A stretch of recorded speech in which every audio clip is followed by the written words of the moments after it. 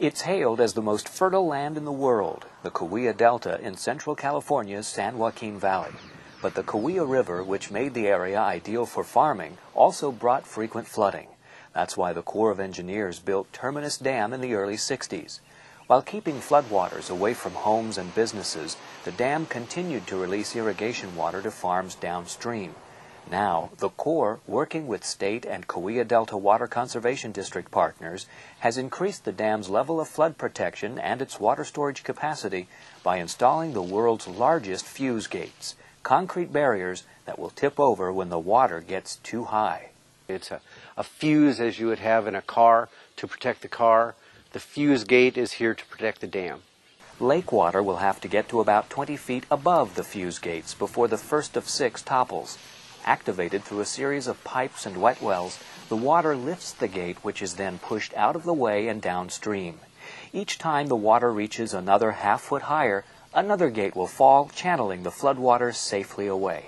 It's a very simple design. It has no moving parts. It's got no electrical components or mechanical components. The gates will operate if nobody is here. As the lake rose this spring to the height of the 21 foot fuse gates, it gained more than 42,000 additional acre feet of storage, or 25% more water.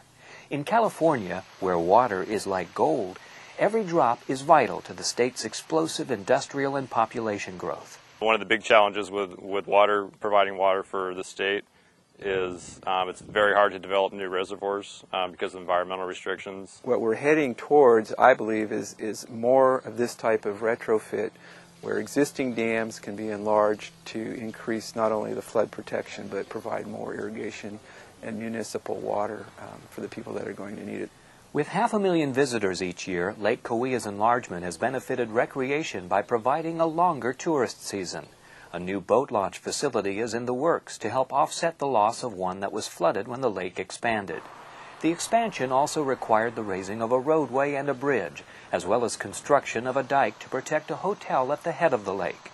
To mitigate any lost vegetation or wildlife habitat, the Corps developed four environmental features, including a 1,300 acre waterfowl habitat and a 4,000 acre oak ranch. As the Corps seeks to balance environmental concerns with human development, the fuse gate design may just be the solution to the water resource challenges of future generations.